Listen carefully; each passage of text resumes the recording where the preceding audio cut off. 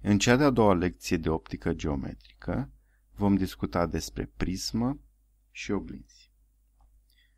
Prisma optică e făcută din sticlă și are formă triunghiulară.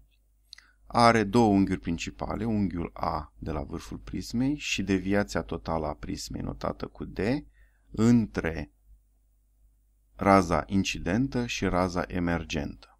Cu linii galbene întrerupte desenăm normalele la cele două suprafețe ale prismei în punctele de incidență. Pentru a calcula unghiul A, considerăm unghiurile din triunghiul AII' și observăm că A este egal cu 180 de grade minus suma dintre unghiul AII' și A I prim I.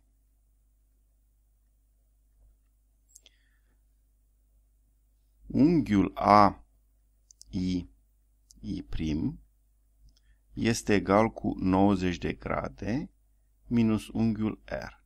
Aceasta deoarece, um, după cum am spus, linia întreruptă galbenă este normală, deci perpendiculară pe suprafață, și cele două unghiuri, suma lor, uh, va fi egală cu 90 de grade. Identic A I' I va fi egal cu 90 de grade minus R'. Din aceste trei ecuații deducem uh, relația pentru unghiul prismei A, care este egal cu R plus R'. Aceasta este prima ecuație a prismei. Pentru unghiul D, observăm că suma dintre unghiul D și unghiul IKI' este egal cu 180 de grade. Deci D este 180 de grade minus IKI'. Unghiul IKI' la rândul lui este 180 de grade minus suma dintre unghiurile KI și KI'. Aceasta deoarece cele trei unghiuri formează triunghiul KI'. Deci, combinând aceste două relații, D este egal cu KI' plus KI'. Pentru a calcula aceste două unghiuri, uh, considerăm unghiurile din jurul punctului I și I'. Și observăm că KI' plus R, deci suma acestor două unghiuri, este egală cu unghiul I, pentru că sunt delimitate de aceleași axe. Deci putem scrie KI' plus R este egal cu I. Și la fel, K I' I plus R' egal cu I'. Deci, D poate fi scris ca I minus R plus I' minus R'. Și în sfârșit, luând uh, în uh, considerație formula pentru unghiul prismei A, avem că D este I plus I' minus A. Aceasta fiind cea de-a doua relație a prismei. Vom vorbi acum despre forma formarea imaginilor. În prima lecție de optică geometrică am văzut că un obiect emite raze de lumină în toate direcțiile deci aceste raze vor forma un fascicul divergent din obiect. Dacă aceste raze de lumină întâlnesc suprafața de separare uh, cu un alt mediu omogen, uh, vom avea fenomenele de reflexie și refracție. Întrebarea care se pune este, putem folosi într-un mod uh, inteligent aceste fenomene de reflexie și refracție, astfel încât să obținem o reconvergență parțială a acestor raze într-un anumit punct. Dacă reușim acest lucru, acest punct se va numi imaginea obiectului original.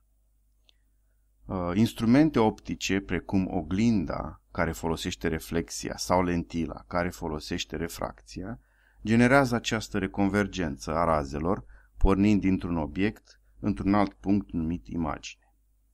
Deci imaginea este intersecția razelor ce pleacă dintr-un obiect prin fenomenul de reflexie sau refracție.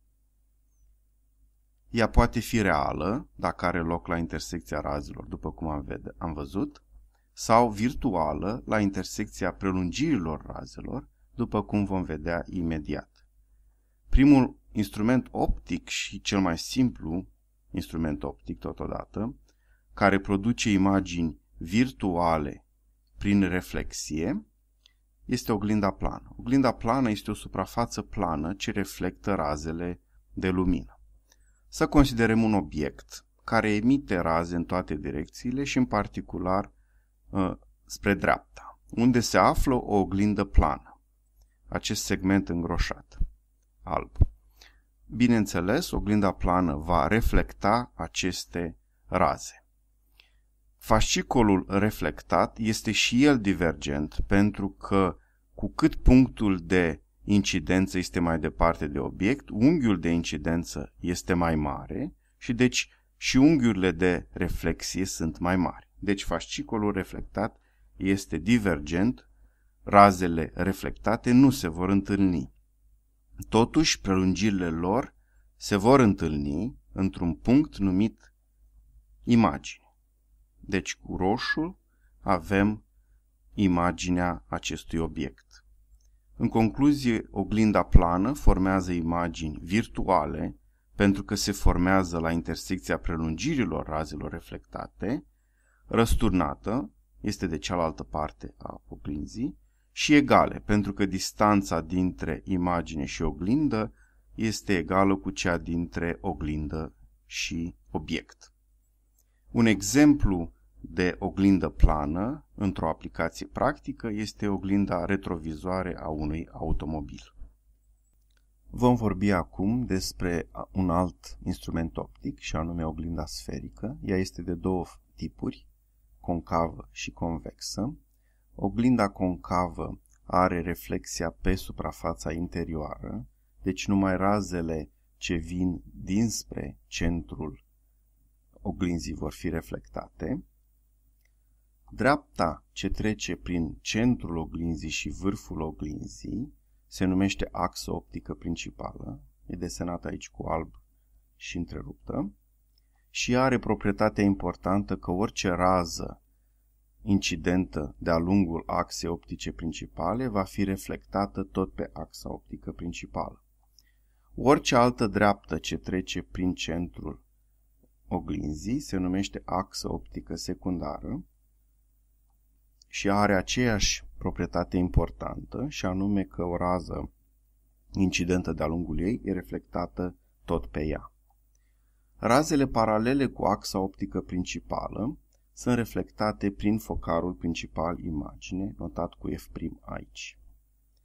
Aceste două raze sunt incidente paralel cu axa optică principală și apoi sunt reflectate prin focarul principal imagine.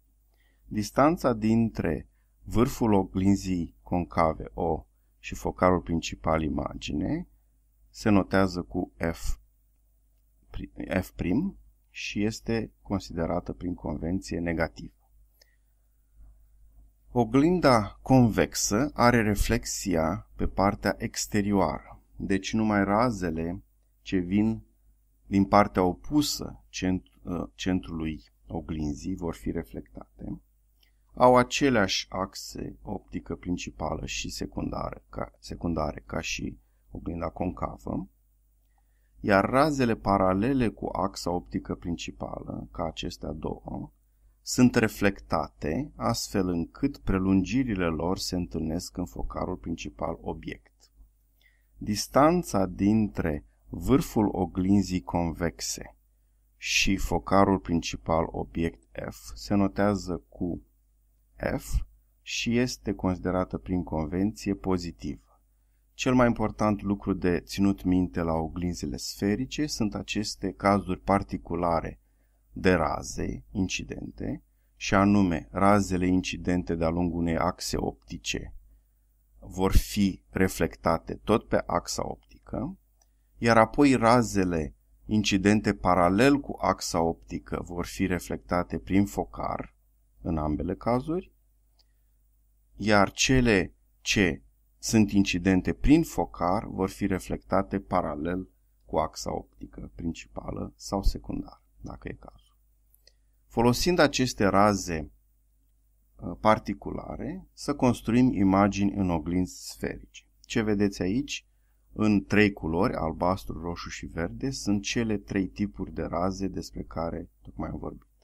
Să le folosim pentru a construi imaginea obiectului AB în oglinda concavă din această schemă. Deci acest caz ne arată o oglindă concavă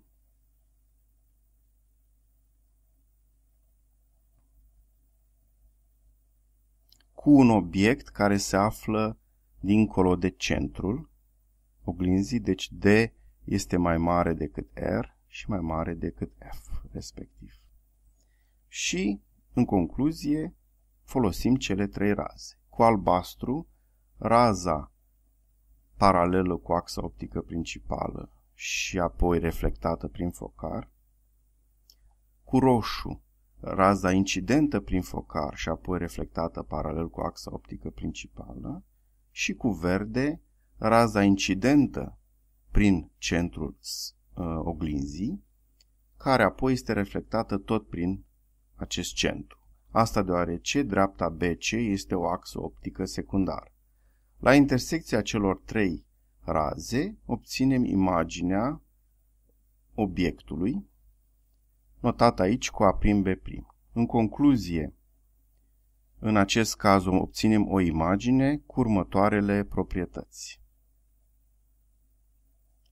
Este reală pentru că se formează la intersecția razelor și nu la intersecția prelungirilor lor, este răsturnată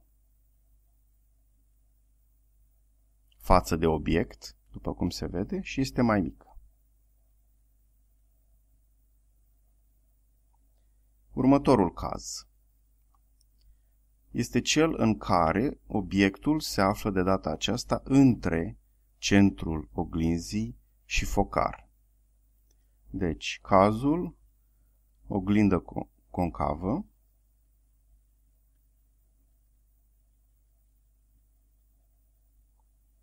și obiectul situat astfel încât R, raza, oglinzii este mai mare decât D, poziția obiectului mai mare decât F.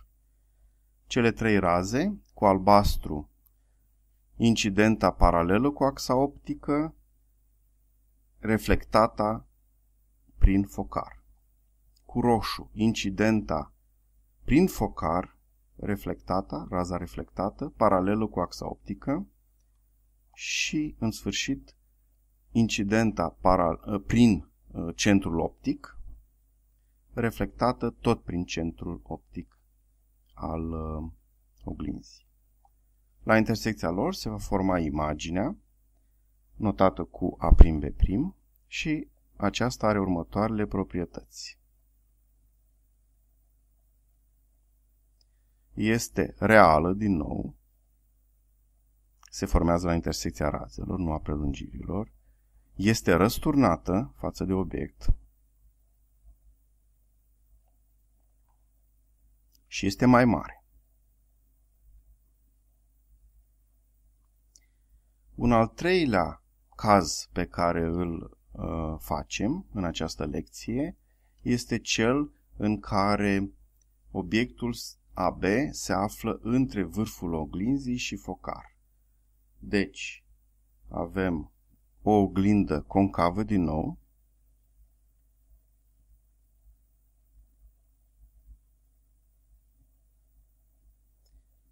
și obiectul poziționat astfel încât raza oglinzii e mai mare decât distanța focară, mai mare decât D. Trasăm cele trei raze. În primul rând, cu albastru, raza incidentă paralelă cu axa optică va fi reflectată prin focar.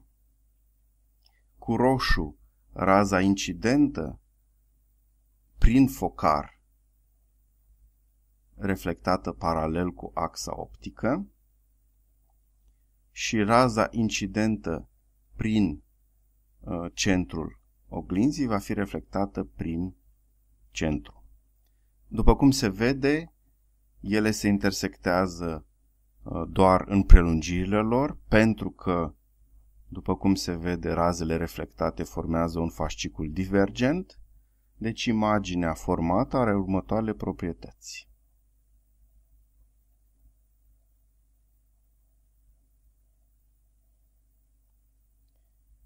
Este virtuală de data asta, pentru că se formează la intersecția prelungirilor razelor, este dreaptă față de obiect și este mai mare.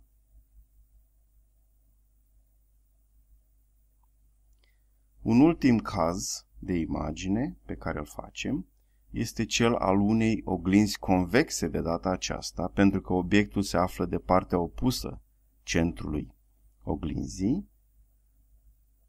Și deci, în acest caz, poziția, după cum vedea, vom vedea, a obiectului nu mai este importantă, deci avem o oglindă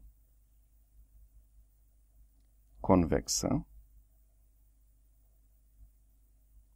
situată la o distanță de oarecare față de vârful oglinzii. Cele trei raze, cu albastru, raza paralelă cu axa optică, care apoi este reflectată astfel încât prelungirea ei trece prin focar, cu roșu, raza incidentă prin focar în prelungirea ei, care apoi este reflectată paralelă cu axa optică, și cu verde, raza incidentă prin centru în prelungirea ei, care apoi este reflectată tot prin centru. Evident, aceste trei raze reflectate sunt, formează un fascicul divergent, deci se intersectează doar în prelungirile lor. Deci imaginea prim B' are următoarele proprietăți.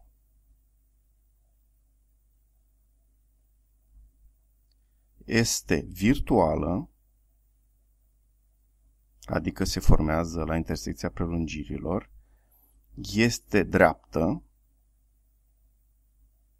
în raport cu obiectul și este mai mică.